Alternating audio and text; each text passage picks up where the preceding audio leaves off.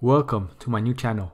Click on that little red button to subscribe to my channel to get the latest videos on how much your favorite YouTubers earn. And click on the bell notification icon to get post notifications and never missing any new videos. So how do YouTubers get paid?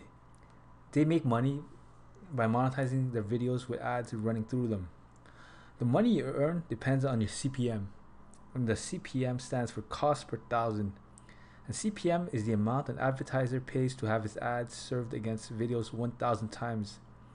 It is calculated based on how many people watch the video and from where the people are watching the video. video.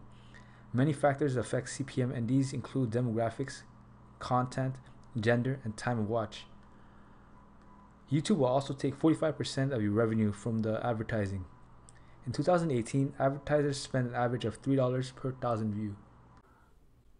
Let's go over Whitney Bjerken's YouTube channel. She currently has 1,280,000 subscribers. Total amount of views is 486,756,960. Daily subs is currently 667 and monthly subs is at 20,000. Daily revenue, this is going to be an estimate. So daily views is currently 350,000. A thousand views gives a YouTuber between three to five dollars. So let's just say four dollars. So daily income is 350,000 multiply by 0.004 and you get $1,400. Now monthly income is $1,400 multiplied by 30 and you get $42,000. Annual revenue, this is going to be an estimate. So the revenue is $42,000 multiplied by 12 and you get $504,000. Now of course with this YouTube gets a cut of the revenue, YouTube gets 45% and this channel gets 55%.